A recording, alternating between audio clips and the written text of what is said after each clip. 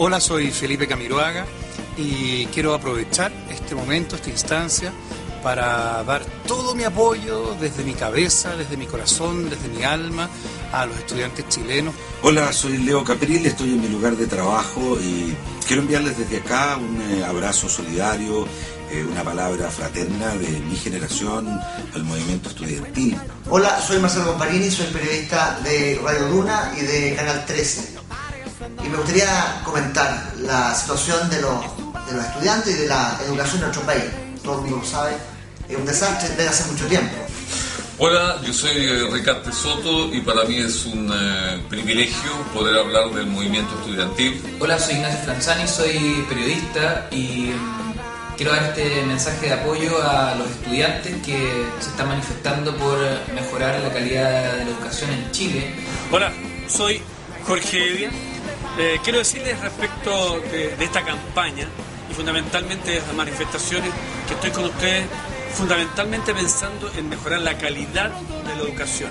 Creo que han dado una lucha impecable, creativa, sensible, tremendamente valiente, eh, que de verdad como chileno siento un orgullo gigante. Me llama mucho la atención la capacidad de reagruparse, de reorganizarse, de reinventarse que tiene el movimiento estudiantil y a todo nivel, ver a los secundarios con los universitarios, los muchachos de los institutos, las universidades privadas, las universidades tradicionales, ver a los rectores integrados en, una, en, en un rechazo a las propuestas que surgen desde el Ministerio de Educación y en definitiva desde el gobierno de Chile.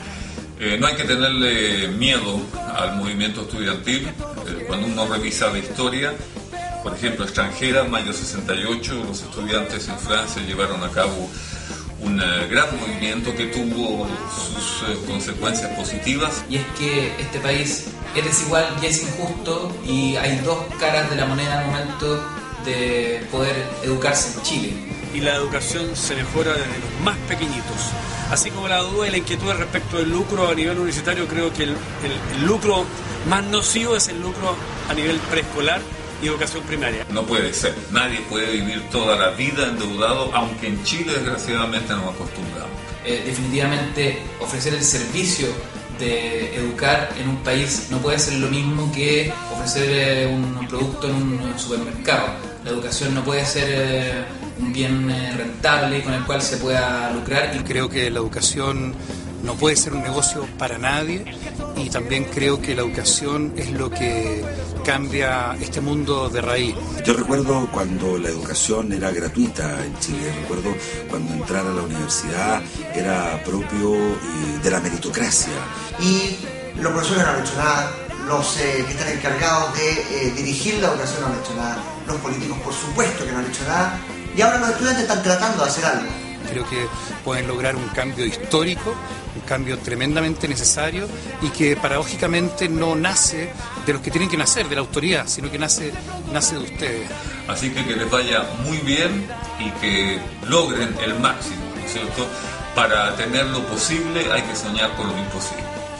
Eh, me uno, me sumo, eh, me engancho con eh, esta protesta, la reivindico absolutamente y estoy segurísimo que más temprano que tarde se va a llegar a, a los logros que el movimiento estudiantil exige y requiere. creo que este 2011 es el punto final para tomar medidas drásticas respecto del futuro de la educación en Chile.